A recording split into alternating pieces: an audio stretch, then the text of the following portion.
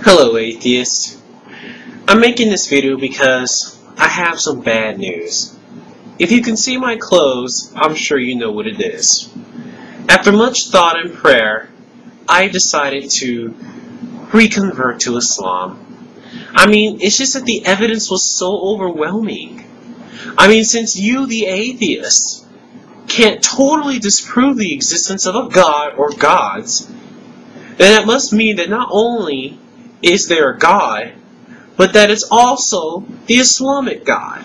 I mean, let's be honest with ourselves here.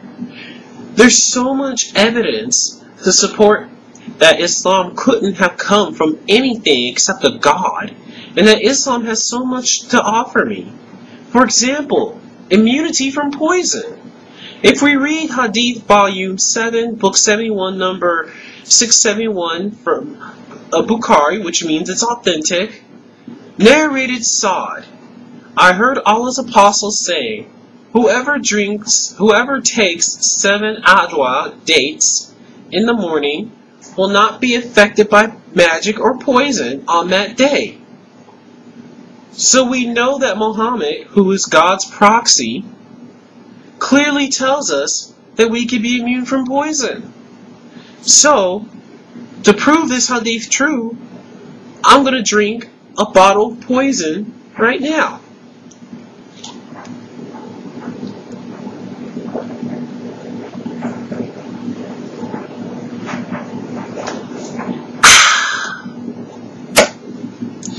And insofar as magic, well, it, I don't seem to be turning into a witch or anything as of yet, so that seems to be working out pretty well also.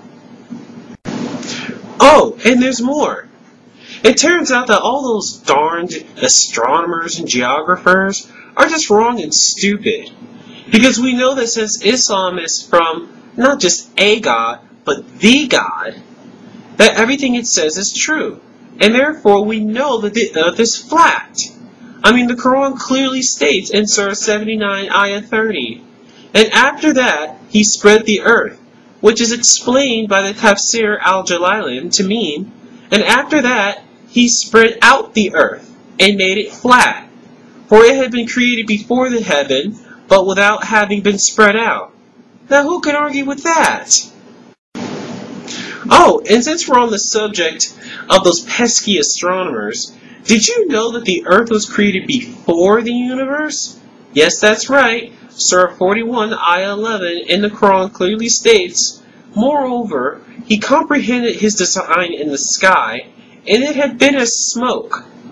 He said to it and the earth, Come ye together, willingly or unwillingly. They said, We do come together, in willing and obedience.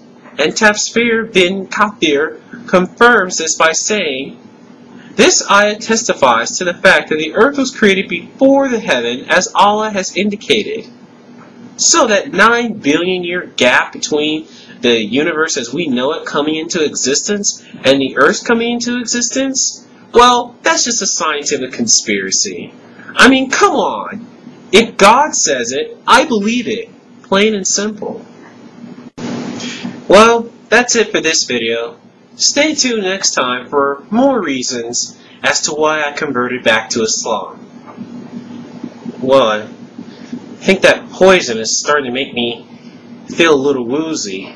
But that's okay, because I have the Word of God on my side.